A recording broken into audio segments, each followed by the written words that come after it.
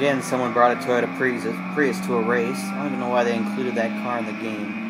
Anyway, this is the second race in the Compact Car Series. It's on Circuit de la Madrid Short or something. I had never driven this track before, so excuse my somewhat poor driving.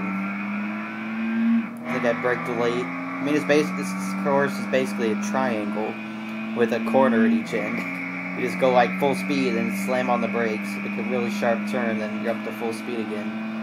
Kind of a I don't really hmm. really like this track to be honest, but but oh well, it's pretty easy. And yeah, I mean I won by like half a lap, so I mean you do like a couple cheap upgrades to your car, you should have no trouble with these opening races at, at all really.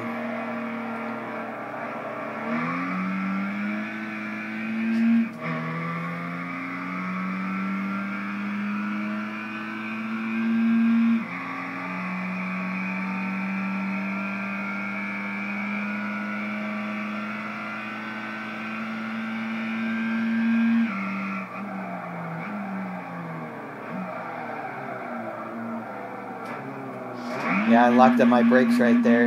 I think this is the first Gran Turismo game you can actually do that in, so I wasn't really expecting it. I was kind of turning there and going straight into the wall. Until uh, I guess learned not to brake so hard. There's, I guess I could set the ABS higher and cheat. I haven't set it 1 right now.